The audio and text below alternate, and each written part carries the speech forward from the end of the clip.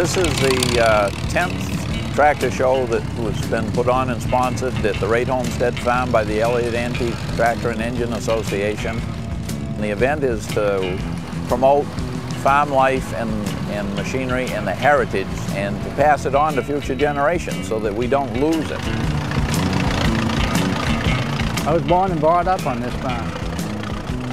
A friend of mine convinced me that being a farm boy that I ought to go to tractor and engine shows. Well, I pretty much got hooked, but I was on the outside looking in, so I went and bought a, a little John Deere tractor and thought I'd like to restore it. Well, it is what they say is a fever. Once you do one, you, you want another one, and then you're buying parts tractors to fix the parts tractor, and uh, it all started from just one little John Deere. We used to go to shows from here to Indiana, and uh, we thought, well, why can't we do that in Maine?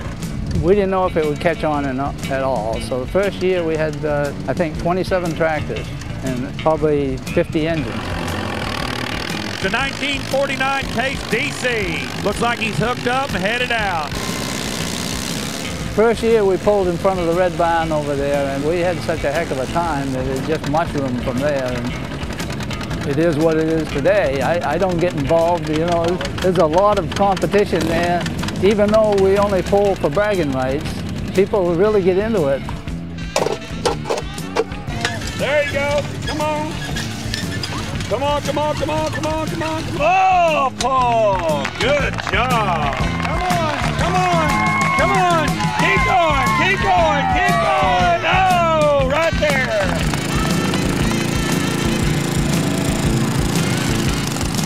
We just pull the lawn and garden.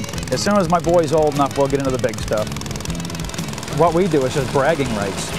Mine can outpull yours. The next guy takes it home, tinkers a little bit here and there, and comes back the next day and does better, hopefully. it's tractors, it's engines. We'd like to have a good mix of everything. We've really tried to promote to keep the engines alive because those were part of the earlier technology. I brought down my collection of Hercules engines. Hercules manufactured under five different brands, and I have four of the five major brands that they sold under. Rather than all different sizes, I decided on all the same bore and stroke, but all painted different colors sold by different companies.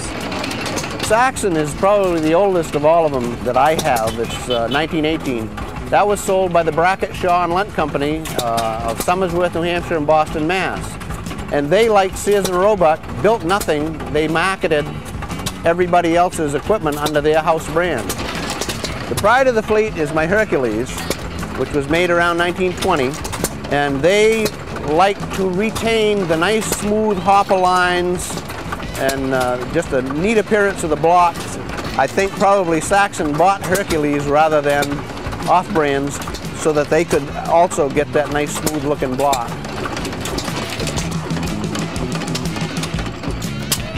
I, I, think I'm a perfect example of why a show like this goes on because I didn't have a clue that any of this stuff even existed, like the old engines and stuff. And a lot of people, they go through and they pull these things out and restore them that would just be lost. And so you have a lot of history that people would never even hardly know about, much less get to see and look at.